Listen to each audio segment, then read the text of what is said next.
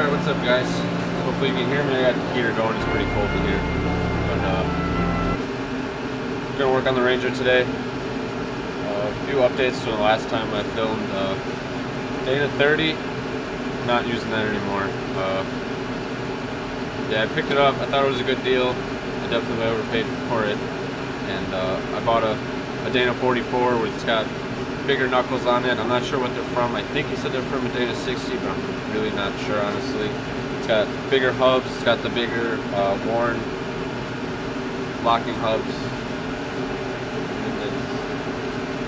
It's from an older Ford, so it's uh, 8 by 6.5 plug pattern. So I have no problem finding uh, wheels and tires for this truck now.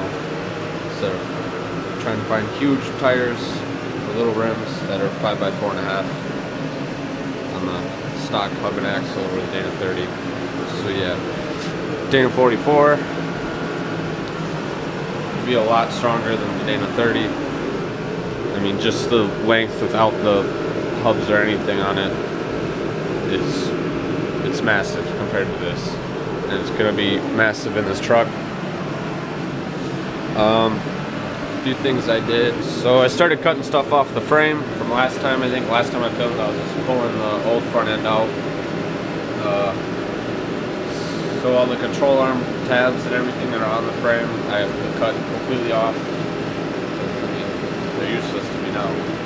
So start doing that on this side. I'm gonna leave the shock towers for now. I don't know if I'll be able to reuse them, but I'm just gonna leave them and figure that out when I get that far because shocks almost the last things I'll need to do. Um, yeah, I'd rather just not cut them out now and then regret it later if I could have used them. So this side is, I started on this side, I cut one bracket off here, I had to cut this one off, this one, and this one. I'm leaving this main one in here so that when I order my, uh, I already ordered it, but the, the leaf spring hanger that's gonna go up front for the shackles, it's gonna be welded in between my frame rails here, and then it's gonna have the shackle mounts here on either end for the leaf springs. Um, that's gonna help support the frame, so I don't want to cut that out yet and have take a chance of my frame moving for some reason, just being all out of whack. So I'm just gonna leave that, get on welded in, set, and then I'll cut that all out. Uh, I was gonna run the Dana 30 and the, the stock rear axle, but I'm no longer doing that. Now I got the Dana 44 for up front, I'm gonna try and run a Dana 60 in the rear. So the rear axle is gonna come out. I tried, I messed around for a while. I went to the junkyard, bought some F-150 rear leaf springs out of a FX4. Thought that would give me enough lift. Just added them to the Ranger leaves. I've got eight leaves in here, which looks ridiculous and you'd probably ride absolutely horrible.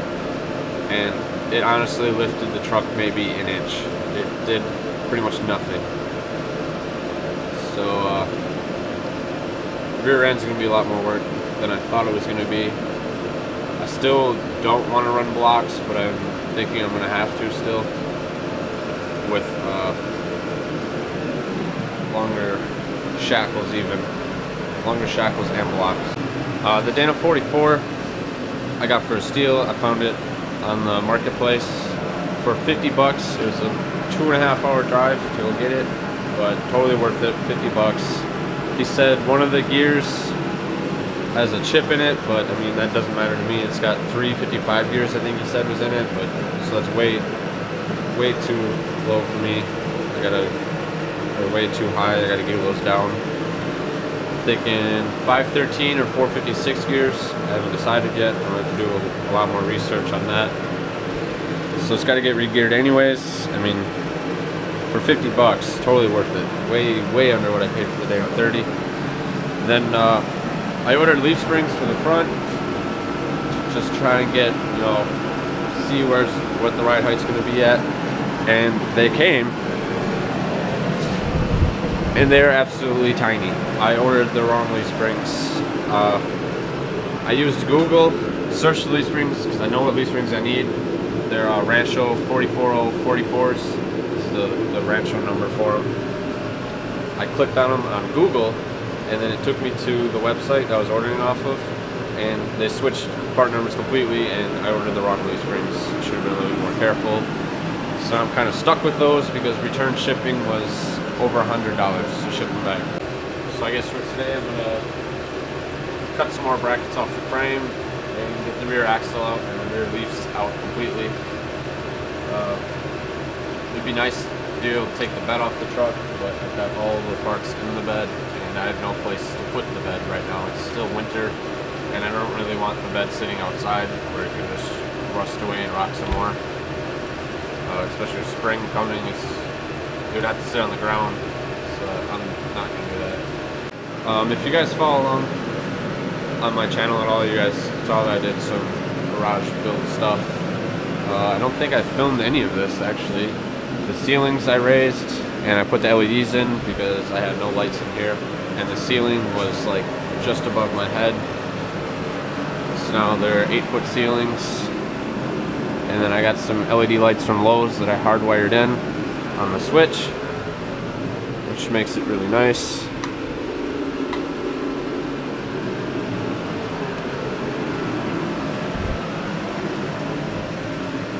So yeah, garage is coming together, truck's coming apart still, but soon to be going together. I don't think I showed you guys this either. I picked up a welder. I said that in the video that I was going to pick one of those up soon.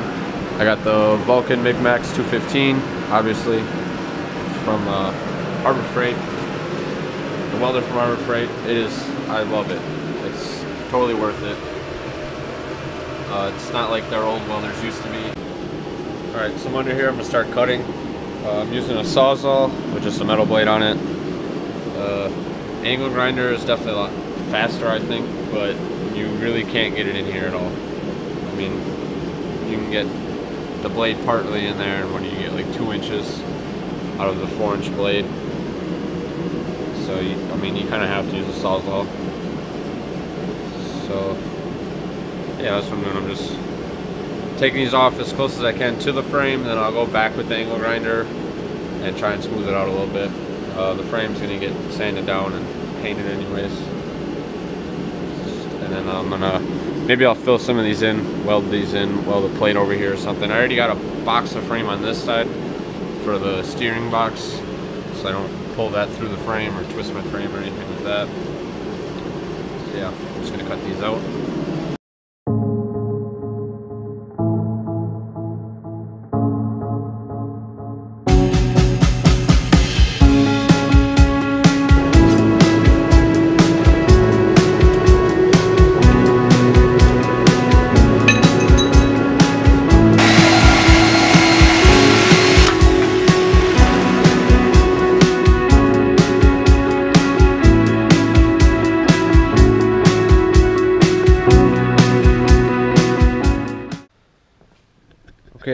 Rear axle's out. That's pretty simple, self-explanatory there. Disconnect brake lines. Sway bar, I actually had to cut my sway bar out. The end links, bolts were completely shot. Original of the truck. So I had to cut those out, that sucked. But rear end's out. Frame's all, all the brackets are cut off the frame. Still gotta clean it up, at least that's out of the way. Uh, I gotta end the vlog here. I gotta go help my dad with some stuff. Went over to his house. Um, but yeah, I guess just a little update. It's crazy. I got three axles in here now, and I still need another one. But trying to sell the rear one now, and then the Dana 30 I bought because I don't need it anymore. Um, yeah, like I said, I ordered parts. So that'll be the next vlog that should be here this week. I'll show you guys that when I get that. We'll be welding stuff up front and finishing cleaning that up. So uh, thanks for watching. Continue to follow along with the build. Subscribe. Uh, if you like it, hit like. I know that wasn't very informational today, but we're getting there. Little things at a time. It's usually when I work on it Sunday. And I got other errands and stuff to do, so not much is getting done right now, but I'm also kind of waiting on a lot of parts, so.